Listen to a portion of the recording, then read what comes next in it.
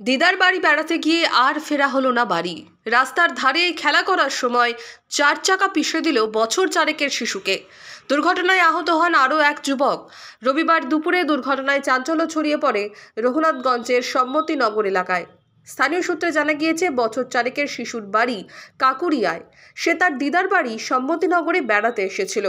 এদিন দুপুরে বাড়ির সামনেই রাস্তার পাশে বসে খেলা করছিল।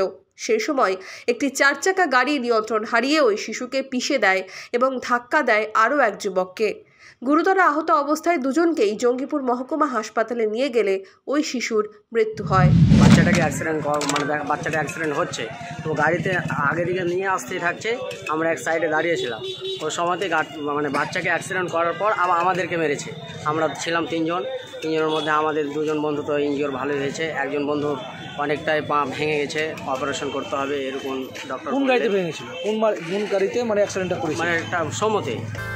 মধ্যবঙ্গের সমস্ত খবরের দ্রুত আপডেট পেতে সাবস্ক্রাইব করুন আমাদের ইউটিউব চ্যানেল মধ্যবঙ্গ নিউজ সমস্ত খবরের দ্রুত নোটিফিকেশন পেতে বেল আইকনে ক্লিক করুন।